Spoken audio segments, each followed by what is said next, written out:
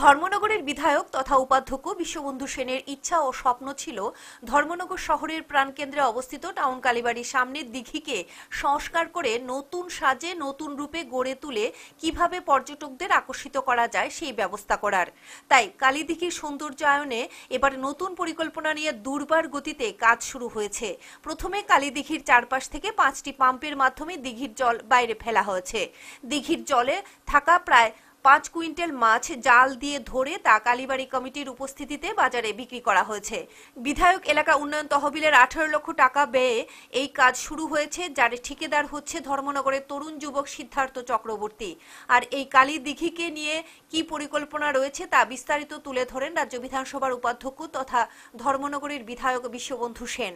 তিনি জানান, মূলত ধর্মনগরের উন্নয়নে ধর্মনগরকে একটি পর্যটন স্থল হিসেবে গড়ে তুলতে এবং ধর্মনগরকে সকলের কাছে আকর্ষণীয় করে তুলতেই হরিদ্বার ও বারাণসীর ঘাটে যেভাবে গঙ্গা আরতি হয়, ঠিক সেইভাবে ধর্মনগর কালীদিঘির পাড়ে ঘাট তৈরি করে সেখানে সন্ধ্যা আরতির আয়োজন করা হবে।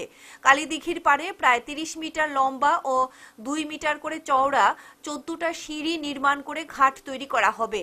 আর এই ঘাটে দেশ ও দশের মঙ্গল কামনায় প্রতিদিন সন্ধ্যায় হবে গঙ্গা আরতি। এছাড়াও দিঘির ঠিক মাঝখানে চার মাথা বিশিষ্ট একটি মহাদেবের মূর্তি স্থাপন করা হবে এবং সেই মহাদেবের মাথা থেকে ফোয়ারার মাধ্যমে প্রতিনিয়ত জল পড়বে। এই নির্মাণ কার্য শেষ হলে বাইরে থেকে আসা জনগণের কাছে এই দৃশ্য অনেক আকর্ষণীয় হয়ে উঠবে বলেও তিনি মত ব্যক্ত করেন। কিছু জিনিস থাকবে, মানুষজন সেটা দর্শন করতে আসেন। আজকে সেই অনেক আগে চেষ্টা করা পরিপ্রেক্ষিতে পারিনি সেই সময়। আমাদের সরকার আসার পরে আমাদের রাজ্যের মাননীয় মুখ্যমন্ত্রী শ্রী বিপ্লব কুমার দেব মহোদয়ের সঙ্গে কথাবার্তা বলে উনি আমাকে সাহস জুগিয়েছেন বলে আপনি এগোন বিশ্ববন্ধুদা। ওনার সাহস নিয়েই আজকে এখানে এই কালীদিঘিকে নতুন উদ্যমে বেনারস তথা হরিদ্বারের মতন একটা ক্ষুদ্র রূপ দেওয়ার চেষ্টা করছি। সন্ধ্যাবেলায় এখানে ঘাটের ঘাট হবে, সন্ধ্যাবেলায় মঙ্গল আরতি হবে, এখানে গান হবে, ভক্তিমূলক গান সন্ধ্যাবেলায়।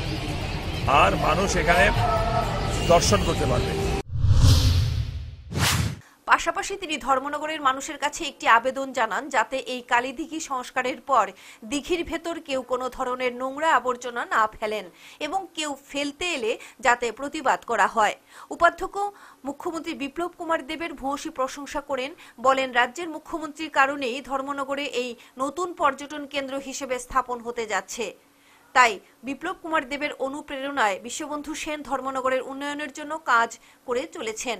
কালীদিঘির নতুন রূপ আগামীতে ধর্মনগরের সৌন্দর্যকে আরও বহুগুণ বাড়িয়ে তুলবে বলে মত ব্যক্ত করেন শহরবাসী।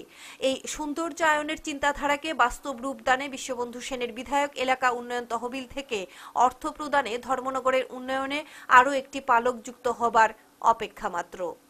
Bureau report, headlines Tripura.